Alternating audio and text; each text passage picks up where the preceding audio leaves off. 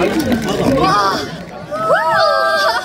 여러분 어떠신가요? 즐거우신가요? 저희도 너무너무 지금 즐겁습니다.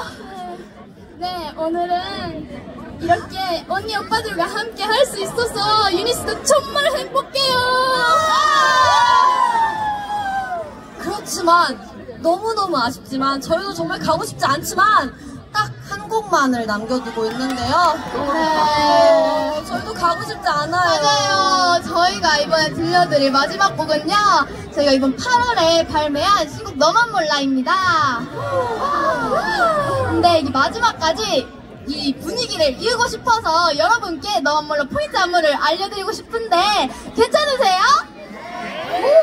깜짝이야. 안무냐면요. 양양펀치라고 하는 안무인데요. 이렇게 뭔가 귀엽게 얼굴 옆에 어 굉장히 귀여우세요. 좋아요, 좋아요. 비슷해요, 비슷한데 이게 귀엽게 얼굴 옆에다 두고 이렇게 애교 부리는 느낌의 안무입니다. 저희가 먼저 보여드릴까요? 네. 5, 6, 7, 8 너만 몰라 정말 정말 몰라 I want to be the one. 옆 사람 안마도 해주고 애교도 부리면서 하는 안무입니다. 유명한 안무예요. 다 같이 한번 해볼까요? 하실 수 있으시겠어요? 오, 같이 5, 6, 7, 8 너만 몰라 정말 정말 몰라 I want to be the one. 왜안 해주세요? 안돼 안돼 넘어갈 수 없어요. 해줘요.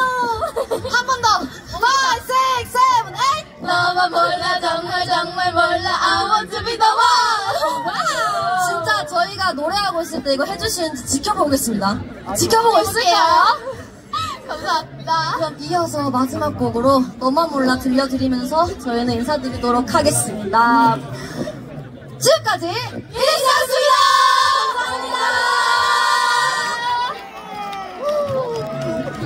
감사합니다.